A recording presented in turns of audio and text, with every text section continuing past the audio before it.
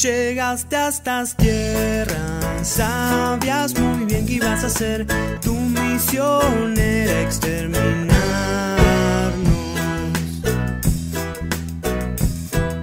Le decías desierto, pero había gente acá, ellos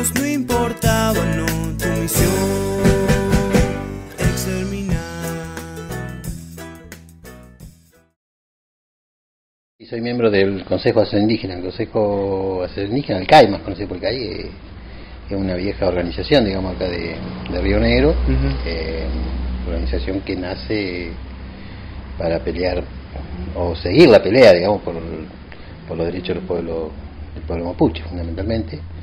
Este, y bueno, nosotros somos parte de eso, digamos, ¿no? Y como parte de eso venimos llevando adelante eh, muchos reclamos, ¿no? Fundamentalmente el tema territorial es uno, central, digamos, que es central para todos los pueblos indígenas, pero después alrededor de eso la lucha también con un sistema este, que ha venido armando o armado, digamos, toda una estrategia para desconocer a los pueblos indígenas, hacer una cuestión de, de negación y olvido, y que eso tiene una trama más compleja, digamos, ya más compleja, ya hay una trama política, un armado, digamos, intelectual de eso para imponer un, un pensamiento único y donde ese pensamiento eh, desconoce la existencia de los pueblos indígenas, digamos, no, no, solamente el pueblo mapuche, sino todos los pueblos indígenas, porque forma parte de, de las estrategias de, de construir este, una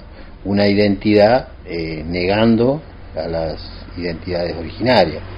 O sea, construir, para eso hay que construir, digamos, un, un relato, una historia, este, y bueno, y en función de eso está puesta eh, toda la estructura de un Estado, y eso es lo que se ha venido llevando hasta ahora, digamos, ¿no? O sea, claro. Entonces, en eso, este, todos los, los símbolos que, que, que se han construido y todas lo, las referencias históricas tienen que ver con, con ese proyecto y inclusive eh, cuáles son eh, las figuras que expresan ese proyecto no mm. entonces bueno eso es lo que se va a imponer en la Argentina este, borrando precisamente toda la identidad originaria e imponiendo esa nueva identidad que va a venir eh, muy bien diseñada con, con todos los símbolos la, la imposición de nombres nombres a lugares que ya tenían nombres, este, fueron puestos, encima de eso fueron puestos otros nombres, y después empezar a este, hacer aparecer, digamos, como referencia de eso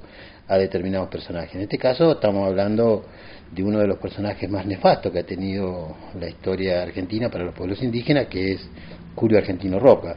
Este, nefasto por, por varias cuestiones, porque el, el pensamiento que siempre tuvo fue eh, para ampliar las fronteras económicas y poder llevar adelante, digamos, el proyecto que, que tenían diseñado con, con, los grandes grupos económicos de ese momento que, que, que vivían en Buenos Aires, uh -huh. este, digamos, el, el, pensamiento era de ampliar las fronteras territoriales para llevar adelante eso, y cuando se hablaba de eso, se hablaba precisamente de eliminar todos los, los habitantes de esos sectores. Este, en ningún momento Roca pensó en una este, en un acercamiento, en una cuestión de, de poder tener un buen trato. Eh, eh, el pensamiento era la eliminación total y absoluta de, de todos los, los que habitaban esos lugares a fin de poner eso a disposición de los intereses que él, que él defendía. Llegaste a estas tierras, sabías muy bien que ibas a hacer, tu misión era exterminar.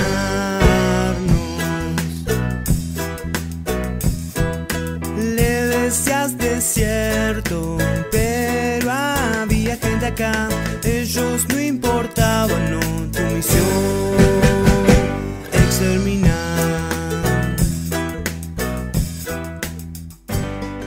Ustedes han presentado tres veces eh, una iniciativa con similares características. Sí. Sí, eh, nosotros, esa historia. Nosotros presentamos creo que hace alrededor de 10 años, creo que era el, el mandato de, de Costanzo, creo que era, mm. presentamos precisamente un, un, pedido de cambiar de nombre a la calle. En ese momento pedíamos, creo que dos calles, Roca y Colón, cambiar de nombre, este, con estos argumentos, ¿no? con, esta, con, esta, con esto que veníamos charlando. Eh, bueno, no, no hubo tratamiento de eso.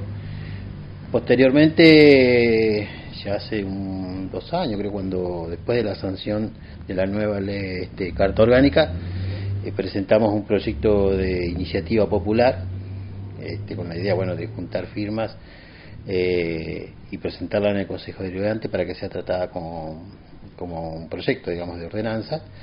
Este, y bueno por cuestiones digamos del mecanismo medio engorroso que hubo no se terminaron de juntar las firmas en el plazo establecido y la última resolución fue presentarla directamente como un proyecto de ordenanza al Consejo Deliberante y en este momento creo que está en alguna ya en alguna de las comisiones este, para empezar a tratarlo. Digamos. Llegaste a estas tierras, sabías muy bien que ibas a ser tu misión era.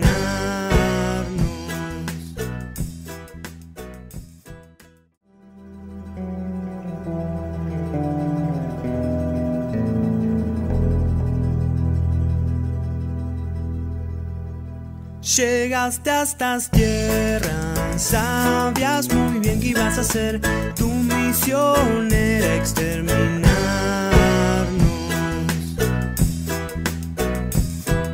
Le decías desierto, pero había gente acá, ellos no importaban, no, tu misión exterminar. Y nosotros también en este caso como producto precisamente de todo el trabajo que nosotros hicimos yendo a, las plazas y que tuvimos en la calle juntando firmas y las escuelas, este, la gente, digamos, la opinión de muchísima gente fue que, que el cambio de nombre debería ser por alguien, digamos, de acá de la zona, alguno de los caciques de la zona, eh, y uno de los más... Eh, representativo, por lo menos en su momento, digamos, cuando llegó acá el español era eh, el cacique Chanel o cacique negro que se va a conocer después, porque pusieron así, pero si bien había muchos caciques acá, o sea, estaba muy, muy poblado en realidad. Sí. Este, pero bueno, el que más sobresalía, digamos, y el que más tenía este, ascendencia, este, es lo que cuentan los relatos, eh, era el cacique Chanel.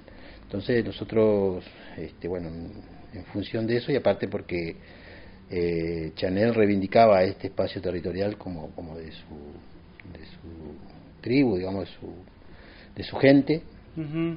Y así lo reconocían inclusive los mismos españoles que llegaron acá. Este, entendíamos que bueno que esta era un, una propuesta para, para poner en la calle roja. Monumentos, calles están a tu nombre, vos no sos ningún héroe asesino. No sé si sabe, pero hay un proyecto para cambiar el nombre de la calle Roca, de acá de Viedma, justamente la calle en la que estamos. ¿Estaría de acuerdo con un proyecto de esa índole? Sí, sí. ¿Por qué?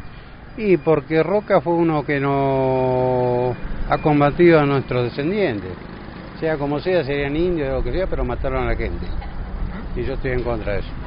Bueno, la idea es ponerle el nombre de un lonco mapuche que es el lonco Chanel. ¿Sabe quién es? No. No.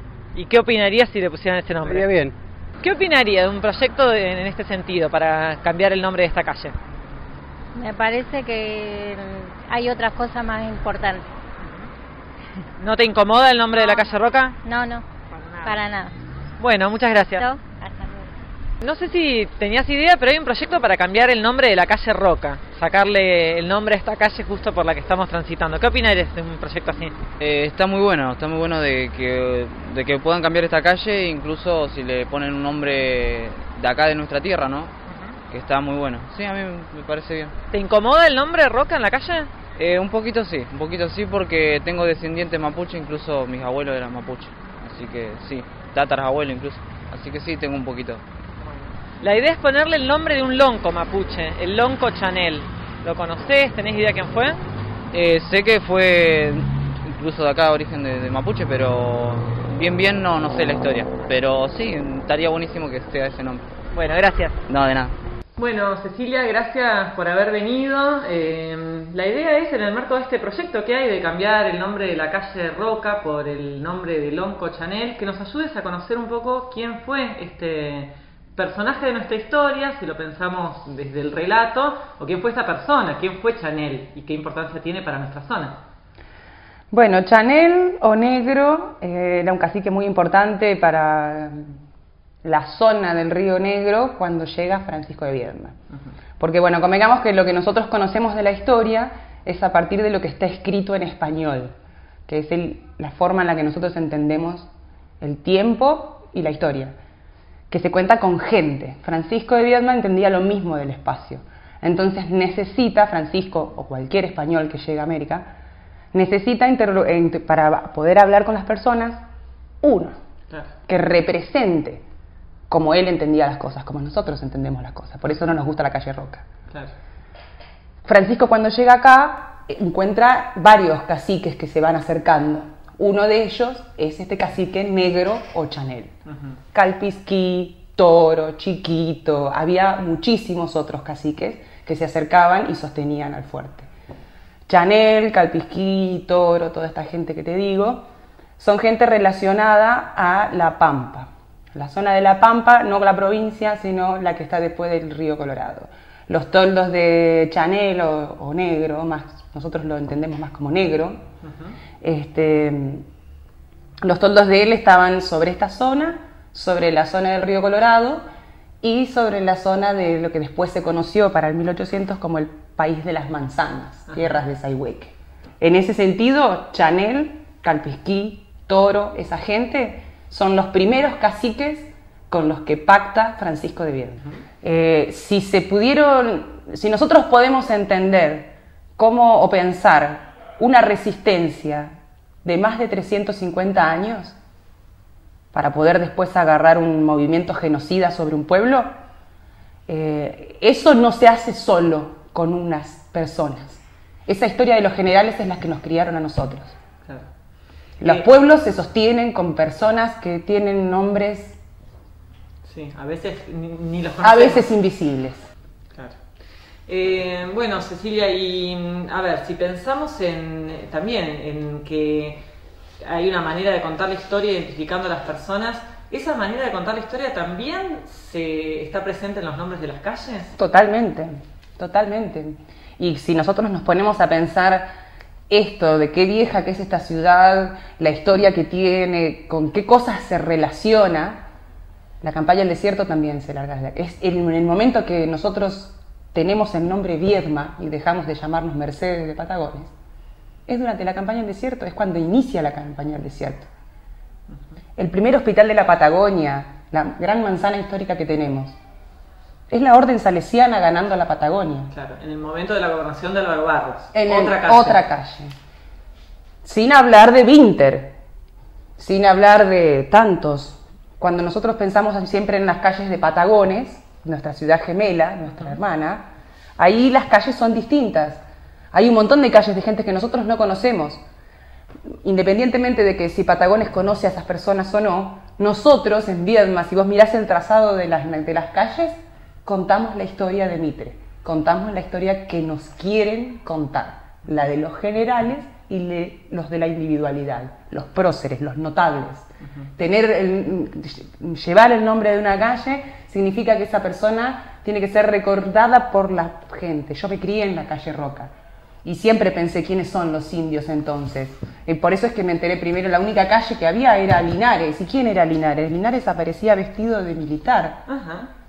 Y ahí también yo tendría 9, 10 años y ya en esa época Hugo Aranea y otros más del CAI estaban peleando por sacar dos calles, la calle Roca y la calle Colón, que los agraviaban. Y la ciudad de Viedma nunca lo permitió. Eso fue cuando yo tenía 10 años, tengo 36. Deuda pendiente. Y estamos hablando del té. Bueno, Cecilia, muchas gracias. ¿eh? De nada. will.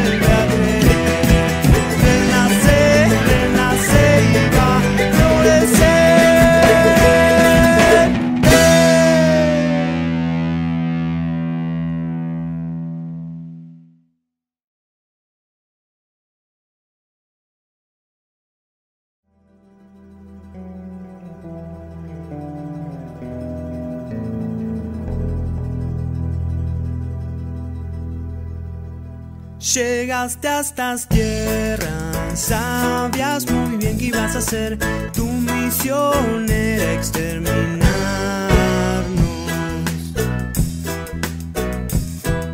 Le decías desierto, pero había gente acá,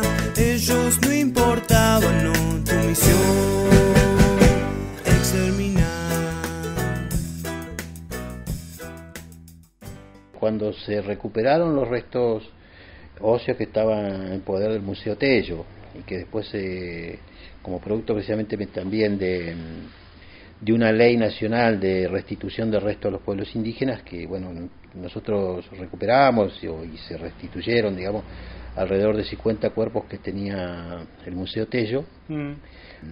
El gobernador eh, de la provincia eh, eh, también él eh, participó y en realidad participó en nombre del Estado rionegrino pidiendo perdón este, y haciéndose cargo precisamente del atropello y del genocidio como, este, eh, llevado a cabo con los pueblos con los pueblos indígenas, lo cual marca un, un hecho político interesante, el reconocimiento por parte de, de, de, quien representa el Estado de esto, viene a reafirmar lo que nosotros venimos diciendo Claro. hace mucho tiempo. O sea, creo que los argumentos que hay desde todos los lugares prácticamente no dejarían lugar a duda de que, bueno, que esto tiene que ser llevado adelante, digamos, a esta altura, ¿no? Este, como también otros símbolos que, bueno, seguramente después habrá que ver por los monumentos y, y algunas placas que hay, este, yo creo también deberían o ser retirada o puesta realmente en, discusión qué hacer con esas cosas. Monumentos, calles están a tu nombre. Vos no sos.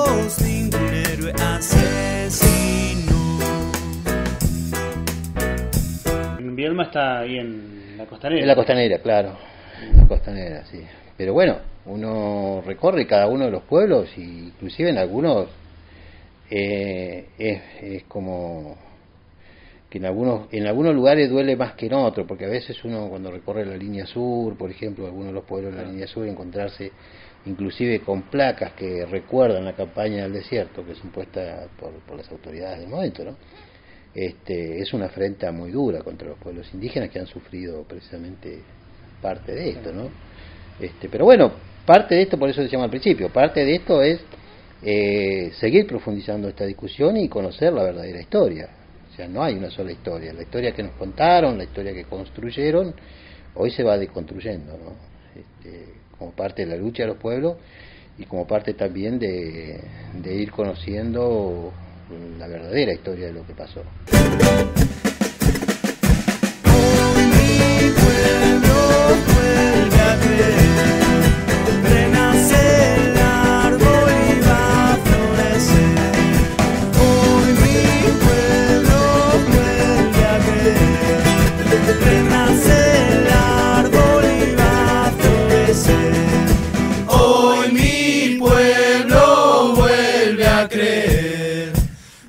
nace el árbol y va